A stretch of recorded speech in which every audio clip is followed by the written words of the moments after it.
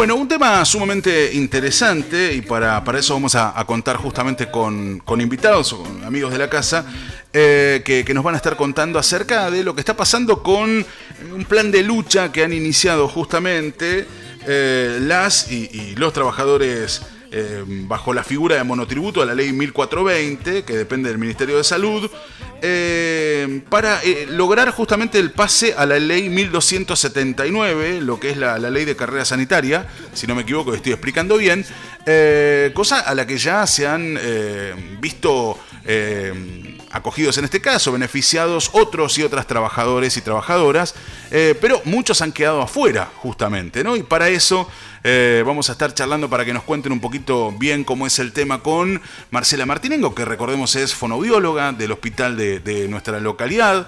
Rodrigo Fuentes Aguilera, que es licenciado en Trabajo Social, también del Hospital Virgilio Teinuriburu, eh, quienes forman parte de este grupo de trabajadores y trabajadoras que están reclamando ¿no? por este pase.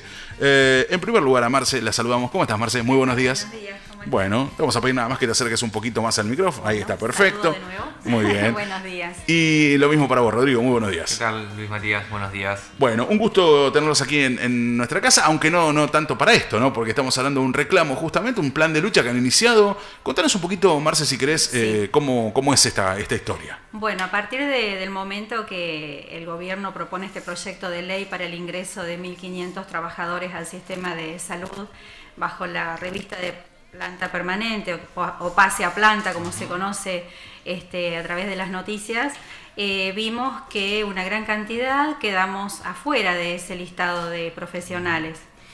Eh, algunos de los argumentos que sostuvieron eh, para conformar el listado es que estas personas fueron incluidas dentro del sistema para trabajar por la ley de emergencia sanitaria. Esa ley de emergencia sanitaria eh, vence ahora a fin de año, el 31 de diciembre, por lo tanto, como una manera de eh, reconocer eh, el esfuerzo, el, haberse arriesgado en una situación de pandemia y para no dejar sin trabajo a toda esta gente, los incorporan con una ley que todavía no tiene número, pero bueno, este, ya está para salir a sanción la semana que viene. Em, bajo ese criterio entraron, pero en ese criterio no quedamos incluidos el resto de los que venimos trabajando ya hace muchos años, eh, también eh, con pacientes que han tenido COVID, también en primera línea, eh, también de manera diaria, cumpliendo con nuestros horarios, con nuestra asistencia presencial en nuestros consultorios. por lo tanto, consideramos que tenemos el mismo derecho eh, de poder ser incorporados a planta. Con ese criterio, ¿no? Teniendo en cuenta eso. Eh, para, para, la gente que está escuchando, digamos, esto significa eh, estabilidad laboral, o sea, digamos, saber justamente acerca de la estabilidad. sí, seguro. Por otra parte, también eso, ¿no? La estabilidad que significa tener un, un cargo, un puesto en planta permanente de, de cualquier estado, ¿no? Eh, en este momento eh, solamente tenemos cumplimiento de obligaciones, no tenemos derechos. Claro. Eh, nuestra carga horaria, nuestra dedicación corresponde a lo mismo que, que cualquier otro profesional que sí está en planta. Eh, pero al ser monotributistas, eh, bueno, los derechos que es un aporte jubilatorio, un aporte a obra social, una RT, eh, bueno, en fin, todo lo que conlleva una estabilidad con un, con un trabajo de planta, no lo tenemos. Entonces, bueno, esa es otra cosa que está vulnerada para quienes estamos como monotributistas. ¿Cuántos trabajadores y trabajadoras aquí en Relicó, por ejemplo, están en esta situación de no reconocimiento, digamos, no? Bueno, se habla de más o menos 400 eh, trabajadores y trabajadoras en total, de lo que nosotros siempre hacemos una distinción en esto. Eh, como hay profesiones que no están en, la Pampa, este tipo de ley sirve de manera provisoria, dice sus artículos, para contratar ¿sí? a profesionales que, eh, por ejemplo, no estén, como puede ser algún, alguna, alguna profesión de, límite de Córdoba que venga y trabaje. Ahora, no está contemplado de la manera cronificante en la cual nos tienen a nosotros desde hace en mi caso 5 años, caso de Marcela eh, más de 10 años, en el caso de otros compañeros también entre 10 y 9 años. Eh, y eh, Bueno, como decía Marcela, básicamente no nos da ningún tipo de acceso a lo que tiene que ver con las garantías mínimas e indispensables de la Ley General de Contrato de Trabajo. Quedamos por fuera de todo. Ahora, qué, qué, qué extraño, digamos, que, muchísimos trabajadores fueron pasados justamente y quede, eh, queden sin eh, ingresar, digamos, un grupo, digamos, minoritario en todo caso con el número, ¿no? Una, sí. Una arbitrariedad absoluta, absoluta, que no le encontramos ningún tipo de sentido. En parte porque nosotros venimos trabajando hace, hace años en la institución quienes nos conocen acá en la localidad saben que, estamos en el hospital hace años. Y en parte también, como decía Marcela, estuvimos de lleno, codo a codo con los demás compañeros trabajando en la pandemia, eh, exponiendo nuestras vidas, exponiendo la vida de nuestras familias también, nuestra salud física, emocional. Eh, entonces, desde ese punto de vista, eh, no, no, le encontramos ningún sentido. Y tampoco encontramos ningún sentido que hasta el día de hoy no nos estén dando ningún tipo de respuesta al respecto. ¿No hay respuestas, digo, no, no han por lo menos sentido que, bueno, que se los está escuchando? No, para nada. De hecho, nos declaramos en en conjunto con el gremio en, alerta, eh, asamblea. alerta y movilización. Claro. Eh, bueno, hasta que no, nos den un, Estamos abiertos a cualquier canal de diálogo, a sentarnos a charlar, pero bueno, todavía no nos han dado la posibilidad. Eh, cuando hablas de los gremios, estás hablando de ATE y Citrasap. Correcto. Eh, con respecto, digamos, a, lo que tiene que ver con, esta situación, ¿cuál es el, paso a seguir, digamos, ¿no? Cuando dicen que están en asamblea, en, alerta y, movilización, ¿cuál es el paso a seguir? Por el momento, eh, lo que están haciendo, digamos, es informar de qué se trata el conflicto. ¿Qué, piensan, digamos, hacer? Eh, bueno, sí, sí, seguir.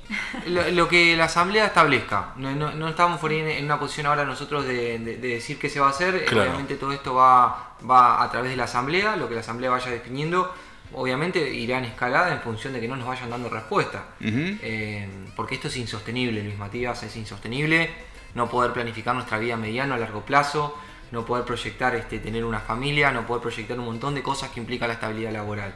Es, es inhumano, es indigno y la verdad que también cuando hablamos de precarización de los trabajadores del sistema de salud, estamos hablando de la precarización del servicio que se ofrece a los usuarios y a las usuarias del sistema. Entenderás que una persona que no cobra su salario durante un mes, como pasa, o dos meses, como nos ha pasado, qué tipo de servicio puede llegar a brindar. Claro, sí, sí, se resiente sin dudas el servicio, digamos, la entrega, sin dudas.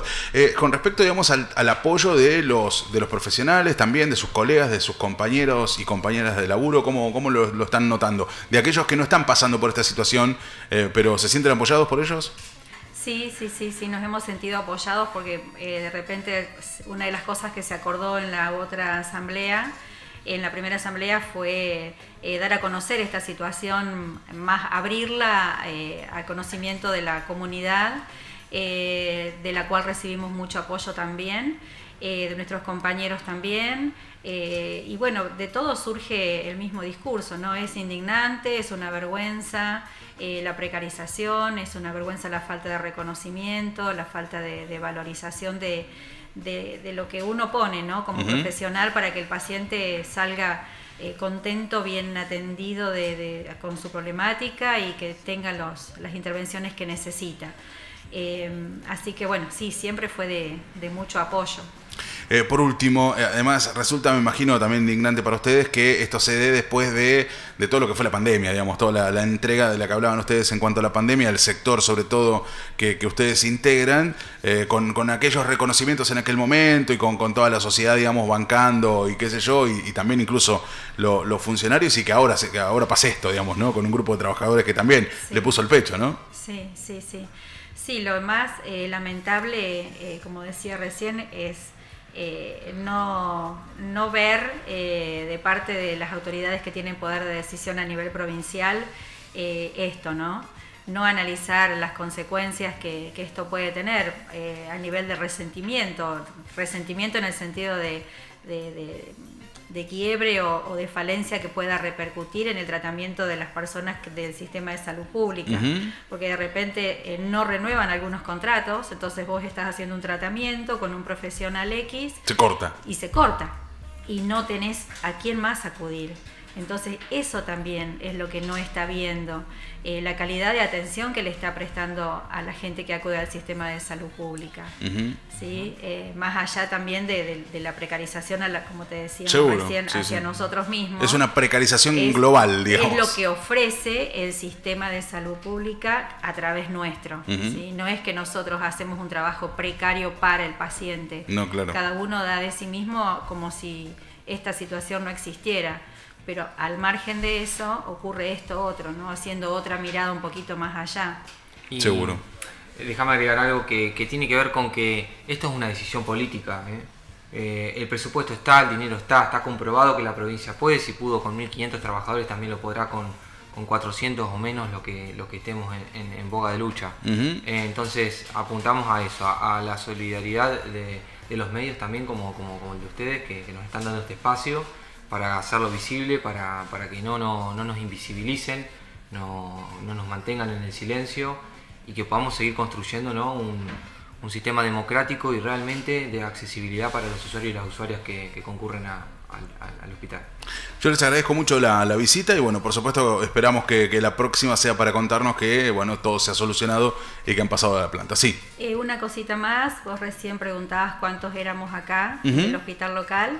Eh, bueno, somos cinco. Eh, está Débora Rivero, que es psicóloga, Pablo Díaz, kinesiólogo, bueno, eh, Rodrigo, yo, Moira, Mayra Borda, perdón, que, es instrumentadora quirúrgica, y el doctor Carlos Charaviglio, que en su situación de revista de jubilado también accede a, a este contrato para seguir prestando servicios. Esas somos las personas que estamos acá y en distintos hospitales de la zona y más lejos hay cantidad, sí. Muchas gracias por la visita. ¿eh? Gracias, a vos.